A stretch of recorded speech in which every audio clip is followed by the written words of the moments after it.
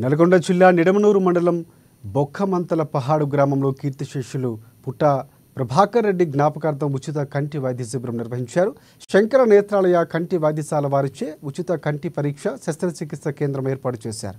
ఈ కార్యక్రమానికి ముఖ్య అతిథిగా కుందూరు జానారెడ్డి పాల్గొని నిర్వాహకులతో కలిసి మెడికల్ క్యాంపును ప్రారంభించారు. కంటి పరీక్షలు శస్త్రచికిత్సలు వారం రోజుల పాటు నిర్వహించడం అభినందనమని జానారెడ్డి అన్నారు.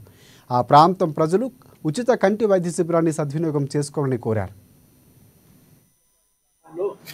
ఎనిమిది రోజుల పాటు హై క్యాంప్ నిర్వహించి ఈ ప్రాంతంలో ఉన్నటువంటి కంటి చూపు తగినటువంటి చికిత్సలు ఏర్పాటు చేయడానికి ఇక్కడ ఈ కార్యక్రమం నిర్వహించడం చాలా సంతోషం.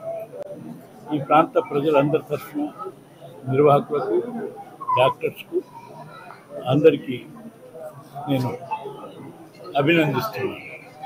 అదేవిధంగా ఈ ప్రాంత నాయకులు ప్రజలందరూ కూడా ఈ గ్రామ కార్యక్రమం విజయవంతం కావడానికి సహకరించవలసిందిగా ఆ తర్వాత కంటి చూపు లేనటువంటి వాళ్ళందరూ కూడా దీన్ని సక్రమంగా వినియోగించుకోవాల్సిందిగా తెలియజేస్తూ మీ అందరికీ దసరా